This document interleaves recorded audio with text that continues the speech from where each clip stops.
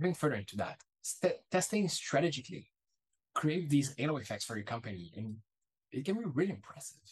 So ideas become democratized and prioritized. So it's not anymore about who the idea is from and when that was proposed, but only ideas are compared one against another. And then we get to decide which we want to test first and second. And also, everything is on the table and everything is testable. So those are great mental models that you'll find your company kind of adopts rapidly. Looking like a baddie, I show up and make them stop. Wanna know my name so badly, cause I run this whole block. Flip my hair, move my head, show the world I'm royalty. When I walk by, they be taking bows, cause they know I'm the queen, yeah. If I were to tell you right now that growth does not happen by accident, I think most of you would challenge me. And rightly so. Growth can sometimes be a product of your work or it can also be a byproduct. But are you able to tell which it is? Hey everyone, my name is Simon. I am a CRO manager over at Conversion Advocates. I am absolutely passionate about experimentation and specifically our topic today, which is strategic testing. You have my LinkedIn profile on this on the screen in front of you. So if you want to reach out after this presentation and share me your thoughts, your comments, feedback, I'd love to hear it. I also post every single day at 9.30 a.m. East and would love to have you over and share thoughts with you. So let's go back to this controversial statement that I just made. But this time, I'll say that consistent growth does not happen by accident. I want you to think about that. Would you rather work on large initiatives and find out that sometimes some of them you achieved a big lift for the company? Or would you rather work on smaller initiatives but unlock the steady stream of incremental gains? To answer that, let's go into our game plan today. And firstly, we'll define together what is testing strategically. Second, I'll teach you how to switch gears into strategic mode. And thirdly, I'll give you tools and real life examples and case studies to begin your own strategic optimization journey. All right. I want to ask first, what's the alternative to not testing? This, of course, is the status quo. Uh, companies right now are shipping stuff blindly that may or may not create actual growth. Performance is often measured after time. Uh, and we try to evaluate if it underperforms or overperforms after a certain period of time. And there's this lag that, that is created by this process. Ideas that are improved may be due to biases or maybe social dynamics and things like groupthink. It's also possible that team dynamics make us some people to have a lot of voice and individuals sometimes have a veto power. So let's dive into these alternatives. The first one is the status quo, meaning you ship large projects when they're ready and with extended timelines. And what you're seeing here is a gray curve that shows these types of projects, in the course of which there can be multiple launches of projects that just do not pan out with anything successful. But at a certain point, one of these projects will, will possibly unlock a very large lift for the company. And then we go back into this process where uh, big projects are lined up one after the other, and eventually we find another big win. What we're seeing otherwise is that this gray uh, curve is being outpaced in its scale by the green one, which represents smaller incremental gains but are more consistent. The issue here is that neither you or I can tell when we'll find the next lift with this process or how significant it will be and so while I've drafted this curve here like that, it's just one representation of hundreds of different possibilities here. The general idea is that if you unlock big wins very rarely, then there are large periods of time where your growth is stagnant. Comparatively, if you get small gains, but very often, then at the very least, you're always on the up and up. And that can have a massive impact for the company.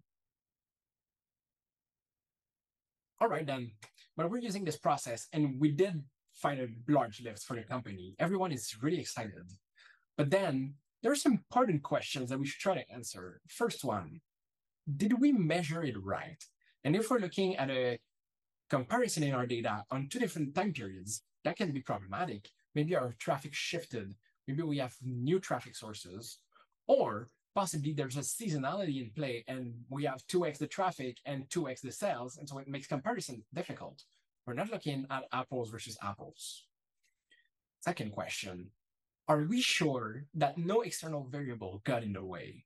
That is important because these projects may have um, hundreds of variables. So then it's difficult to control all of them, but also we do not have certainty that other external uh, stimulus or variables may have come into play. So if we're not able to identify that, maybe we're missing out on some important info here. Third, a bit in, in the same vein, but are we sure we know what drove the increase? And typically with these large pro projects that I'm describing, the number of variables involved is very, very large. And so what that does is it can be very difficult to pin down which of these variables actually did have an impact. And maybe it's a very prominent variable in this entire project, maybe not.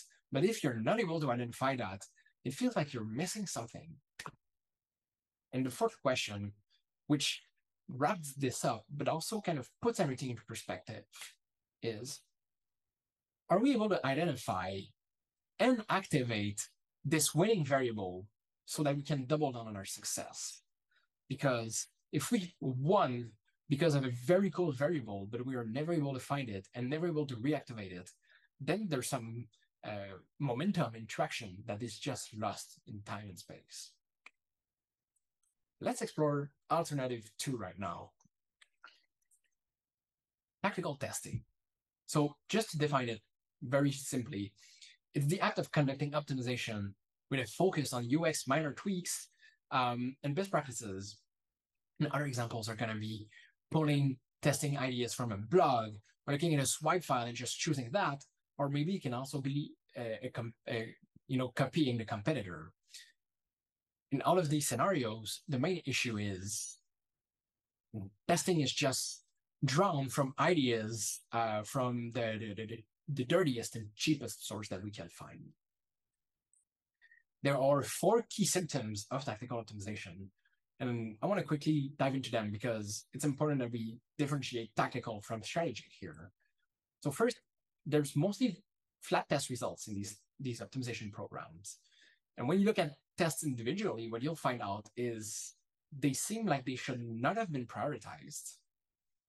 When you're looking at a group of tests, these multiple tests that are shipped, when you're looking at them at a high level, they seem scattered on the site. No prioritization exists in these programs, uh, and the different opportunities for optimization are not weighted once against another. Initiatives are also not grounded in any sort of supporting evidence, and all of that means we don't really know what we're solving for. Second issue is losing buy-in for CRO. And here, that will be caused oftentimes with a focus on immediate gains. Uh, this will cycle into short-term expectations from every stakeholder. Uh, that in turn results into stress and pressure on the team members on the optimization program and generally creates this very heavy ambience top level leadership is going to be set in this mind that they're looking for quick ROI. And so your timelines become stretched. Um, and finally, that is all caused because optimizations do not feel impactful to them. And in reality, most of the time, they're not. Third symptom is a lack of strategic insights. Um, and here, test results, when they're mostly focused on numbers, that is already a big issue because we're we're lacking uh, the the learnings about our customers, about our business, and about our marketing. Tests are not trying to challenge the internal and business assumptions, which everyone has. It's important that we challenge them with tests and we try to verify and validate if we're right or not.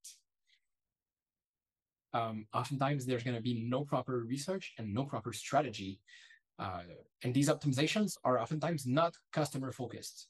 So of course, there are no strategic insights. If there wasn't an insight going into the test, it's going to be difficult to translate it, verify, and validate post test. We need to support the tests. In, in, in evidence, we need the research. Fourth symptom is ignoring the customer journey.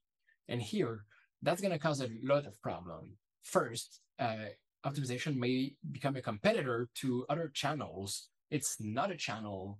You know, channels are additive. The more that you that you have budget into your channels, then it's going to result a, a pretty clear formula of ROI. With experimentation, when you unlock, you know, wins, you shouldn't see it as additive, but rather multiplicative, because a small gain uh, is created on the entire website and is going to apply to all of your channels and all of your users.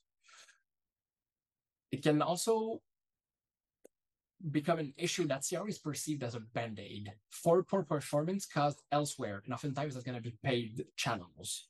But it cannot act in the short term, and so that just creates this kind of disconnect.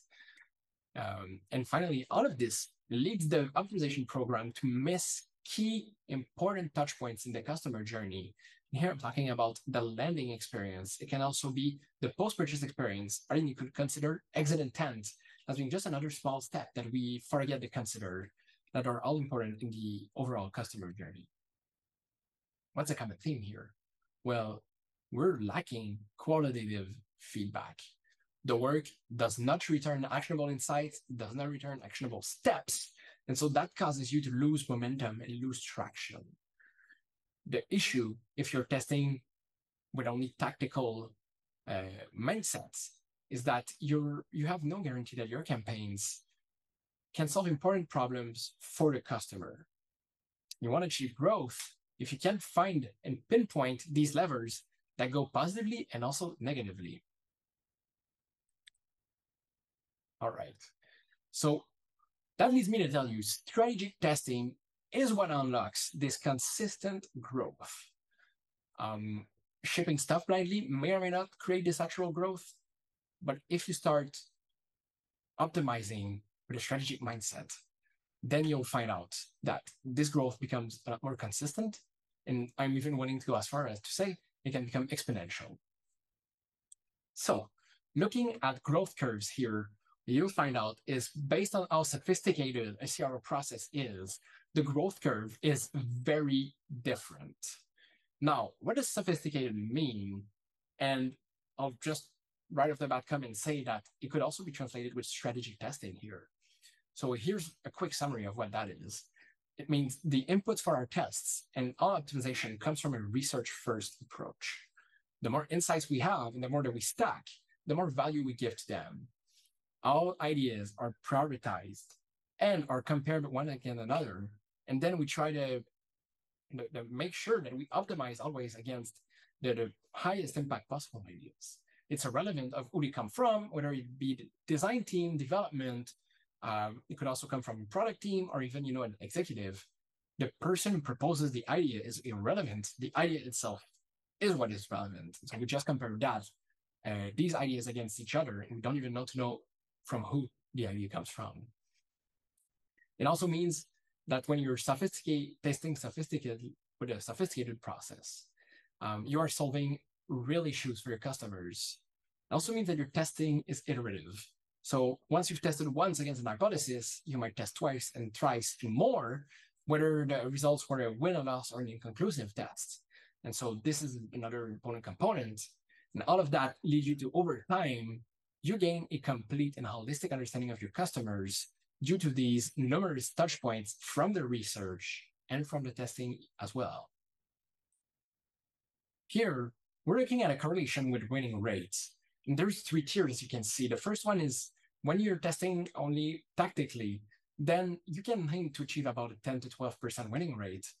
Um, then when you level it up and you start implementing research and ad data, you can already double that winning rate all the way up to using a holistic process. Strategic testing and sophisticated CRO can net you uh, up from 30% to 40% winning rate with your optimization program. This is to show you how a high level of sophistication, how being strategic in your process creates a lot more wins.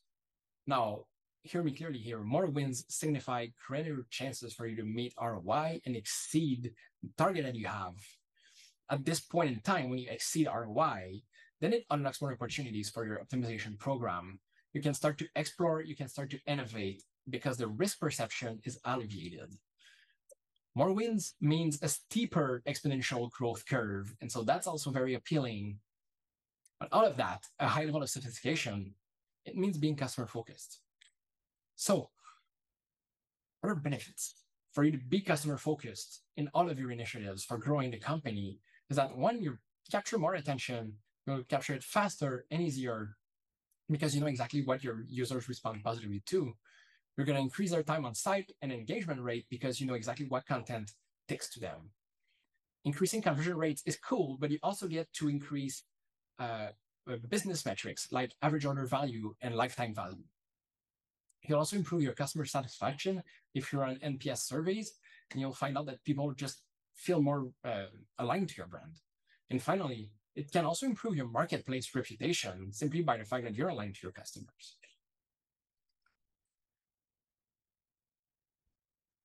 Going further into that, st- testing strategically create these halo effects for your company, and it can be really impressive. So ideas become democratized and prioritized. So it's not anymore about who the idea is from and when that was proposed, but only ideas are compared one against another. And then we get to decide which we want to test first and second. And also, everything is on the table and everything is testable. So those are great mental models that you'll find your company kind of adapts rapidly. This is Rommil Santiago from Experiment Nation. Every week, we share interviews with and conference sessions by our favorite conversion rate optimizers from around the world. So if you like this video, smash that like button and consider subscribing. It helps us a bunch. Now back to the episode. You continually learn about your customers, and that's valuable because not only you get your thumb on pulse about their trends, but you're able to quickly catch when uh, they, they dislike something that you that you've proposed or tested um, and that allows you to be really, really well aligned to how they respond to everything you ship. You'll discover unique user segments that you otherwise would never have found out. These segments can perform in ways you've never expected, and it can also be segments that you never even thought existed. Um, all this leads you to discover these levers for growth. Some of them you're going to want to activate because they go in a positive direction, and others you're just going to want to rail down and deactivate because they're they're negative for the company. Finally, every initiative is measurable and is measured. And so it's easy to tell directions that produce valuable ROI for the company and directions that we thought would, but do not. All in all, as a company, we start to realize that we think we know our users and our customers, but that still we get it wrong more than 50% of the time even with research, even with a thoughtful process with optimization, we realize that we have no idea before we did optimization what the real success rate that we had was. And at this point, maybe we never want to go back. So, how can you test strategically? First, consider that all components of your CRO process are equal you need this whole process in place to capture the maximum value from CRO. And it's important that you keep in mind that the most boring inputs are what create the exciting outputs. And by that, I mean the process, the workflows, the research, and the documentation. Collect your primary and market, uh, customer and market research insights and gain a 360 degree understanding of your customers. You keep your thumb on pulse and you get fresh insights often. That allows you to stay really closely connected to your customer, follow trends that they are are, are, are telling you via their behavior, and um, you can only solve these real issues for customers if you actually have that knowledge. Isolate country roadblocks with research and iterative testing. So with research, you're able to find out these roadblocks, but over time, through testing and through additional research, you'll refine your definition for some of these roadblocks and you'll post progress. And sometimes you may even consider that one of these roadblocks is fully solved or that you've made, I don't know, 40% pro- uh, progress against it. So this entire process of testing strategically allows you to be very in tune with what works best and works for your customers on their website.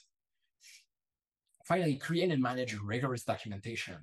That assures accountability for you, your team, and everyone Um, and it's just a step that is needed. It is boring, but in six months, it's going to be helpful for you to circle back to previous tests and understand what are what were the insights going into the tests and what were the insights out of it so that you can leverage that in your new test that you're working on right now. Putting all of this together, strategic CR comes from a customer centric approach. Um, and so let's start putting customer uh, at the front end center of your operations and your project with primary research. There are a large number of research methods that you can conduct. Here, what I want you to see is that most of them are complementary. You don't need to run all of them. That's not what I'm saying here. And on the other hand, what you can do is try to match these different methods to have some user, user behavior, to observe what they do, and to also get some qualitative feedback about why and how and all these other uh, qualitative aspects. And so you try to create this, uh, if you want, this portfolio of research methods that's going to help you gain this complete understanding of customers.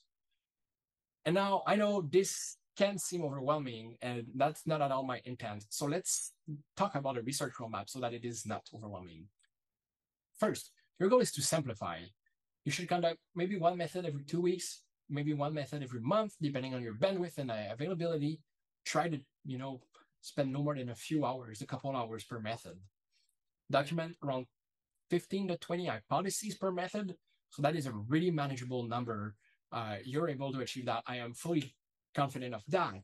And uh, it makes it so that uh, you can circle back later on 10 to 15 hypotheses. If you multiply that by four research methods, you're already near a 80 total hypotheses. It's going to take a long time for you to test all of that. And so what it does, it creates this large backlog that you can easily refer to and stop searching for ideas and instead, you just have these data-driven recommendations that you can run. And if you've already prioritized them, then it's a, a one step less in your work before choosing what you should test next. Finally, refresh insights at least once a year. I'll say that's that's the max that I would I would recommend.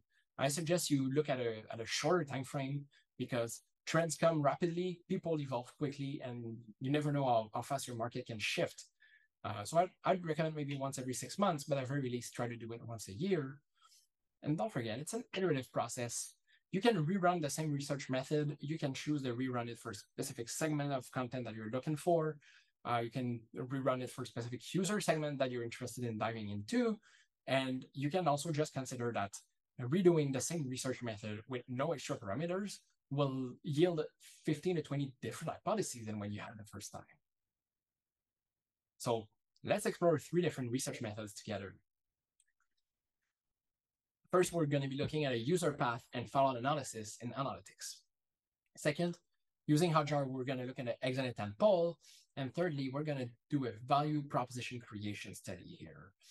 Choosing these three methods creates a very nice portfolio for you to see how these very different methods can uh, give you this, this broad understanding of your customers and user base.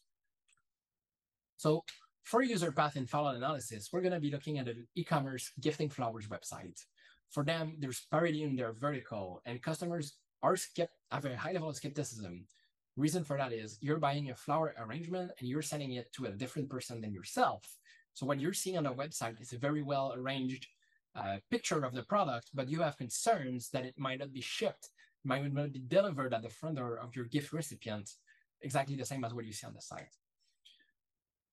So first, before we dive into the insights here, this is how I would explain uh, for you how to run the methodology of this, this research method while I am not a data scientist. So boiling it down to just four easy steps. First, understand traffic sources. So that means realizing what are the main channels, uh, what percentages of users come from them, and maybe understanding a couple of campaigns can be helpful. Then Going to basic reports like device types, channels, campaign, you know all of these basic reports one by one with no extra parameter. Just try to find gaps in what you see. Finally, use um, user flows and landing page reports to find these fallout points. Connect the dots between all of what you found and all of the notes that you made and try to formulate hypotheses to solve what you think causes the fallout for this website. we first looked into the, the, the device types report and found out that mobile is a bit more than half of the total audience on this website. Then we looked at e-commerce conversion rate to find out that they convert twice as worse as desktop devices. So we do find here uh, an untapped potential in this segment for all the mobile users on this website. We looked at the fallout uh, points in the homepage funnel. So that means users that landed on the homepage, uh, out of all of them, only 28% would eventually land on the product page. So what that tells us is that for, for the most part, three quarter of the audience never gets to shop on this website. So we can clearly see that there's a huge gap because we could get a lot more people on the product page. Well, if we want to keep the same conversion rate to add a cart, then that would most likely mean a lot more transactions on this website, right? We went one step further and cross-referenced with heat map and scroll map data. So on your left here, you can see the scroll map that reveals that a very, very high drop-off rate just below the fold on this page. And what that tells us is more than half of the audience on mobile doesn't really scroll on the homepage. Then when you're looking at the maps, there's three core uh, areas and uh, that are being tapped. And what you find out is the hamburger menu is one, and the two other that are CTAs that allow users shop are getting very, very low engagement rate. So that helps us connect the dots here. We have an untapped potential with mobile devices converting at lower rates. We found that a lot of sessions landing on the homepage uh, never get to a product page, and then we're looking at the heat map here that tells us most people on either click the menu or nothing at all. So here's how we designed an experiment to solve for that. We looked at the section right below the fold on the on the homepage and thought that maybe showing a single product was what it what caused the issue. And so we replaced it with a a side by side uh, two by two products here, allowing users to have a better understanding that there's a large product catalog you can see how this by itself, just by listening to this feedback that our users gave us, generated a 10% lift in transaction for this website. Nothing to scoff at.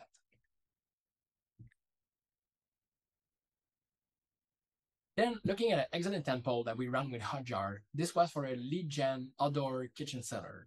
And specifically for them, the issue is they sell their products in two different uh, routes for their customers. The first one uh, you can buy the product as an e-commerce ticket, just going to the website from a category page to the product page and adding the cart. Um, the other option is if you want to customize a product, you can go into a 3D uh, design tool that allows you to build the product step by step, meaning you add the, the, the grill yourself, the countertops, you can add a sink, uh, you can even uh, choose cabinetry. All of these uh, the steps are managed by yourself in this 3D tool. And once that is done, then you're led into a lead generation flow. So you're not converting, you're not buying on site directly, but you are converting through this lead generation form. Just before we dive in, how you should run an exit intent poll uh, is broken down in basically these, these six steps. So first, tag Hotjar or whichever tool you choose to use on your website and set up the poll to trigger on exit intent. Use this exact question format. Uh, and it's important you you you you do not mess with the wording. We've tested that, and it's the most the best performing copy for, for the question. What, if anything, prevented you from converting today? It's an open-ended question and you should not go with a multiple choice. Uh, we want a simple free fill text field and we want to let users tell us in their own words exactly what prevented them. Target pages that are specific to conversion and ideally desktop only.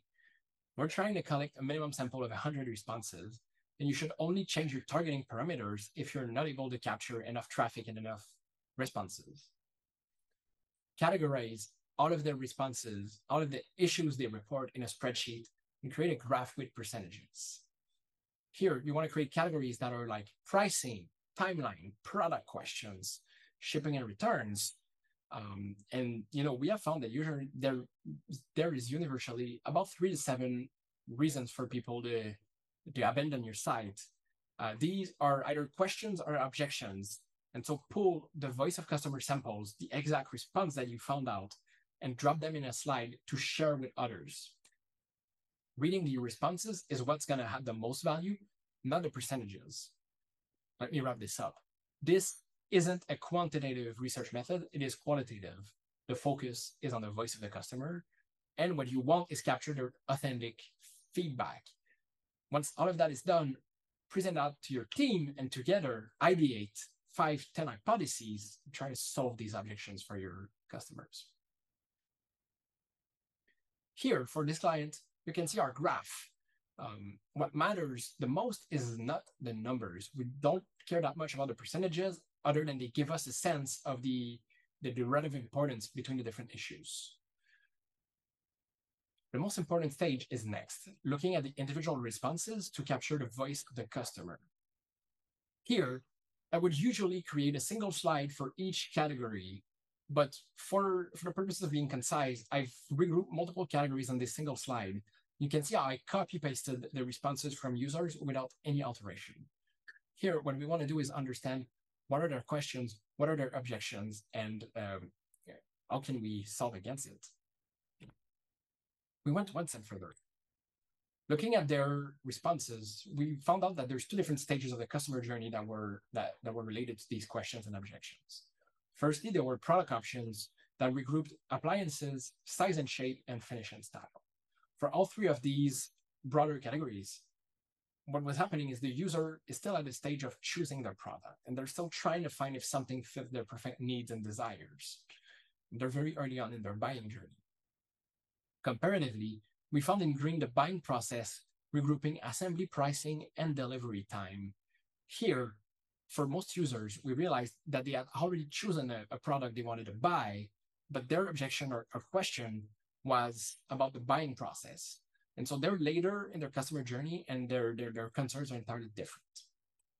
That was tremendously important in understanding how we can design a website that helps users self-select into which of the two options they can buy their product, whether going the e-commerce route or the 3D custom building route.